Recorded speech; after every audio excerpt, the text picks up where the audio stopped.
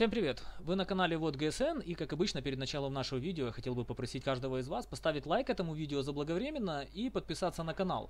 Свой лайк вы сможете отменить в любой момент, ровно как и подписку на мой канал, но этим сделаете мне приятно и поддержите мой канал, заранее вам большое спасибо. Итак, сегодня у нас на обзоре средний танк седьмого уровня Т-23Е3. Э, почему мы его обсматриваем сегодня? Да, очень просто. Дело в том, что разработчики вывалили в ангар предложение, прошу прощения, в магазин вывалили предложение за 8,5 тысяч набором два танчика Т-23Е3 и Т-26Е5. Т-26Е5 есть видео на моем канале, обзор точно такой же, как сейчас будет на этот танчик. Напомню, все мои обзоры касаются не того, какие технические характеристики у танков, а исключительно как они катаются в обычном простом рандоме, обычным среднестатистическим игроком, у которого его результативность боев менее 50%. Я думаю, таких игроков достаточное количество, плюс к тому достаточное количество игроков, которые копят голду, они донатят и мало или не донатят абсолютно, и поэтому они хотят принимать взвешенные решения, на что им тратить голду. Итак, переходим к самому танчику. Что танчик собой предлагает? Он предлагает собой динамику езды по карте. Он предлагает в себе довольно неплохую скорострельную пушечку. Она малоуронная, 160 для, безусловно, семерки это мало. Но, ребят, время перезарядки неполных 3,5 секунды и суммарный урон, если вам повезет найти врагов, которых вы будете тупо вываливать через каждые там неполных 4 секунды, по шоту по 160 вы нанесете 2800 урона. А, ребят, на седьмом уровне это реально существенно.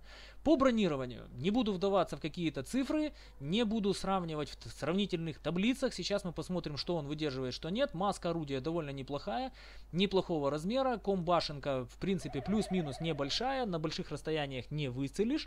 А, ПТшкам будет в большинстве своем сложновато. Особенно, если вы будете пытаться играть от башенки.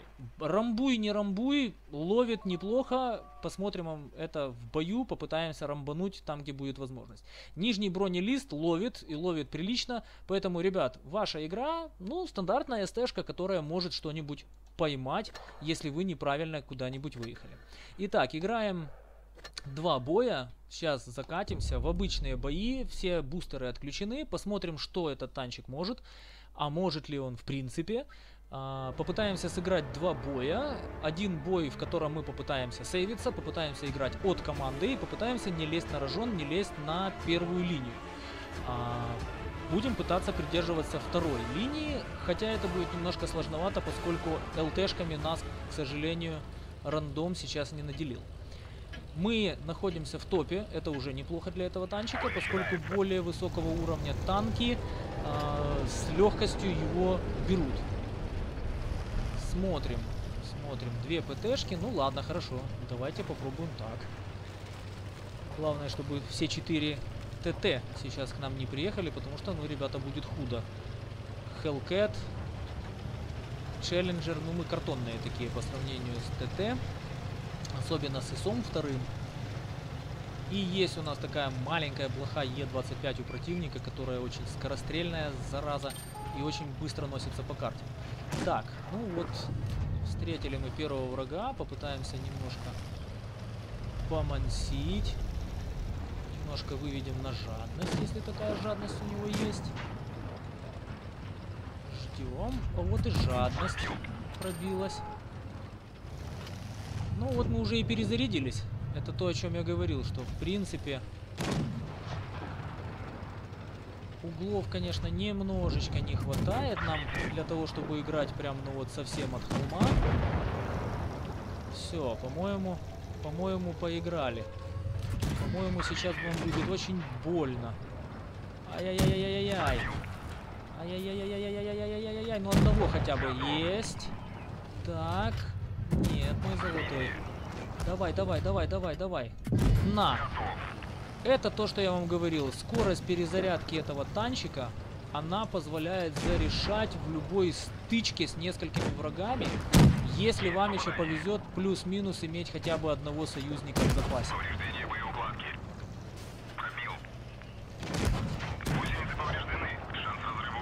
Так. Сейчас, сейчас, сейчас, мой родной. Я тебя освобожу от необходимости кататься с нами в рандоме. Итак, помогаем нашему челленджеру.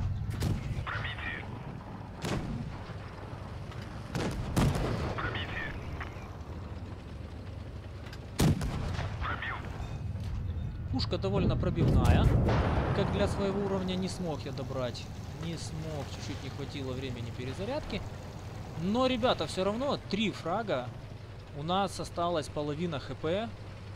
Мы выехали, в принципе, на двух врагов. Третий такой там немножко был потерянный. Но мне кажется, что для танчика своего уровня машинка очень неплохая. Очень подвижная. Очень легко на ней мансить. Очень легко выставляться где-то там вот в какой-то круг и мотаться вокруг кого-то. Даже Е25 и то, в принципе, с трудом справлялась, когда мы начали ее крутить.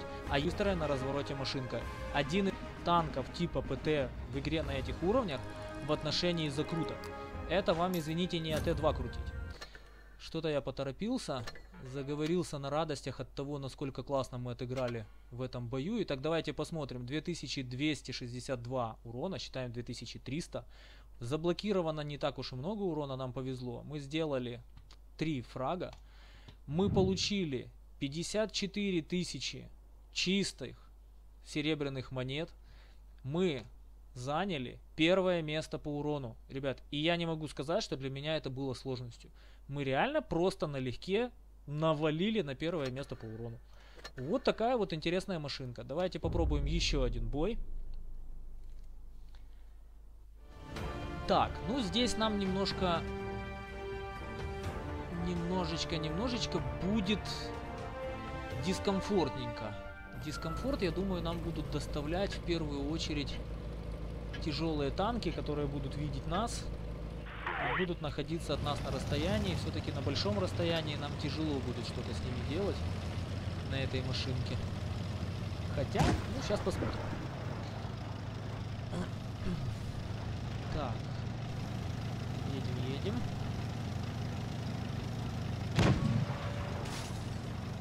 Попытаемся сейчас как-нибудь вот, вот как-нибудь вот так подъехать.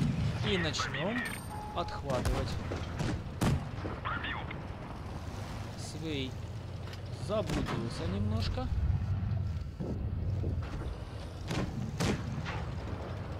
Да, Т-26Е4 конечно, будет нам немножко картину маслом портить. Это связано с тем, что танчик на своем уровне довольно бронированный. Так, наверное, нам надо сваливать отсюда. Тихенько. Тихенько, но быстренько. Ой-ой-ой, ой-ой-ой. На 640 не пробили. Да. Поторопились мы, конечно, занять угол. Очень поторопились. А ну. Попробуем вот так. А в масочку-то сложновато мне попасть, правда? А мне не сложно.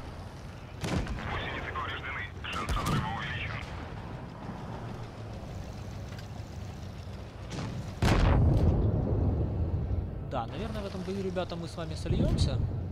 Мы сейчас, конечно, попытаемся сделать максимум, но этот максимум оказался довольно неплохим минимумом. Ну, ребят, давайте будем говорить откровенно. Танчик показал себя в предыдущем бою, можно сказать, что так же, как сейчас. Единственное, что в предыдущем бою была поддержка немножко получше. А, не забейся мы все втроем в этот угол, ну, наверное, было бы немножко как-то покомфортнее поиграть, и, возможно, мы даже бы продавили это. Правильно сыграли, конечно, противники, которые заехали на тяжике сюда и поддержали немножко с тыла. Поэтому, ребят, э, здесь, наверное, больше вот показательно, насколько вы умеете играть.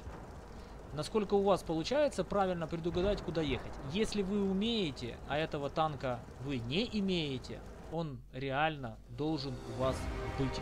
Это действительно классный танчик. И я бы, если у вас есть возможность потратить не те какие-то там три с половиной тысячи голды. Ну вот мы нанесли всего неполных 800 урона. Мы, в принципе, а, в таком, вроде бы как бы плюсики, но не очень. И мы на третьем месте по урону. Не смогли мы реализовать в этом бою все свои возможности. Такие бои тоже бывают. Их не надо стесняться, их не надо бояться, их надо просто принимать и понимать, что невозможно выигрывать во всех боях, особенно если вы среднестатистический игрок World of Tanks Blitz. Если вы не просиживаете штаны сутками напролет, играя в эти танчики.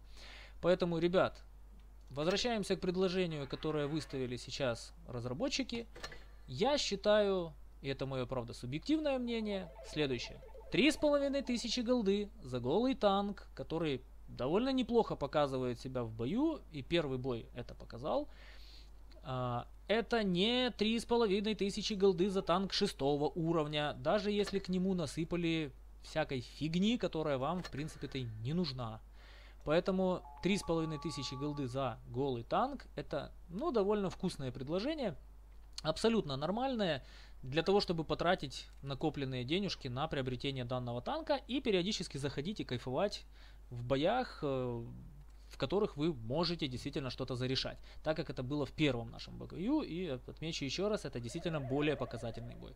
В составе набора 8,5 тысяч, если вас еще и заинтересовал Т-26Е5, напомню, обзор этого танка есть на моем канале, точно такой же, если оба этих танка вас заинтересовали, ребят, берите их в составе набора, вы не пожалеете. Это танки и один, и второй реальный must-have для среднестатистического игрока World of Tanks Blitz. Спасибо вам большое за просмотр, поставьте лайк и подпишитесь на канал, если вы этого еще не сделали.